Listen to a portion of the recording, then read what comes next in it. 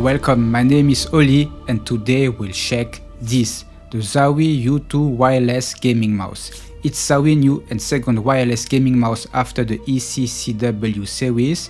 This shape is also new in the lineup. So we enter here with this U2 undiscovered territory. I said that because not only the shape is completely new, the whole technical specification and the way the Zowie U2 is built has nothing to do with the ECCW and the older gaming mice. So let's check what makes the Zowie U2 gaming mouse so special. But first let's do a short unboxing. The box is quite big. We have the mouse here, a manual, additional black PTFE skates, the normal dongle receiver and the big receiver which is known to provide a better signal with less interferences and you can use it to charge the battery of the mouse. You also receive one rubber USB cable and one paracord cable. I guess the rubber cable is to connect the big receiver and the paracord cable is for the normal dongle receiver if you plan to use it in wired mode when the battery is empty.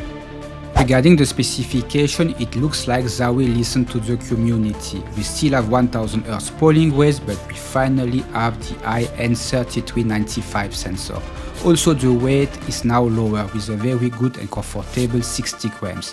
The Zowie U2 is well balanced. As usual with Zowie there is no software to change some settings. You can set the polling rates with the button here and the DPI can set with the button here from 400 all the way up to 3200 DPI. But with some key combination you can also change the LOD. There is also two clicks response time mode, a normal mode and a fast mode and you can also now turn on or off motion sync. This Zowie U2 comes with a Huano pink switches, so let's do a quick sound and quality check.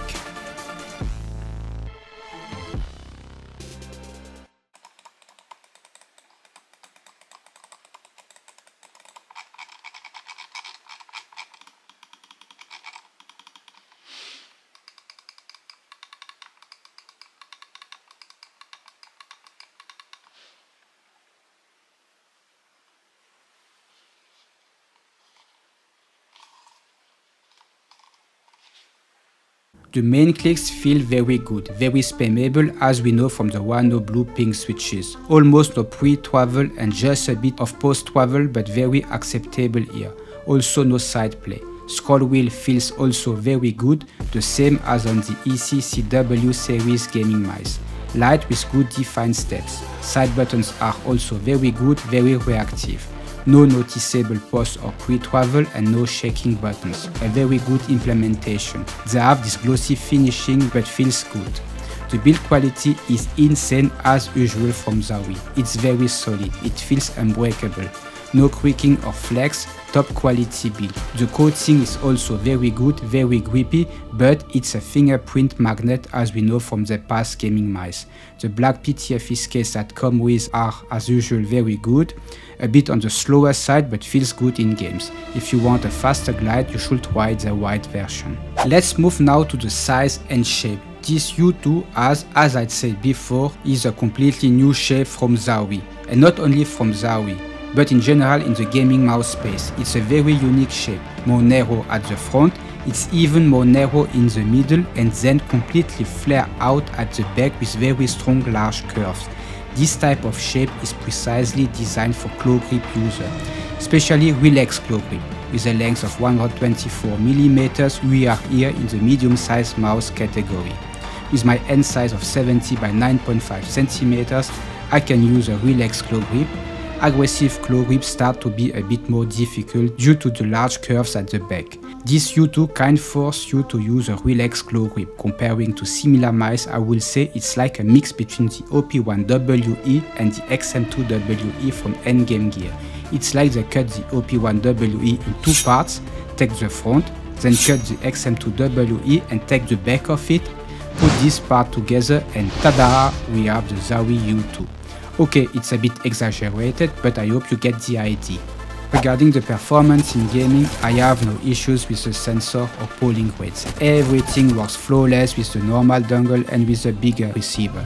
It's a great mouse designed for FPS games, maybe due to the more relaxed claw grip style I will say better for tactical shooters, but I had a lot of fun using it also in games like Apex Legends.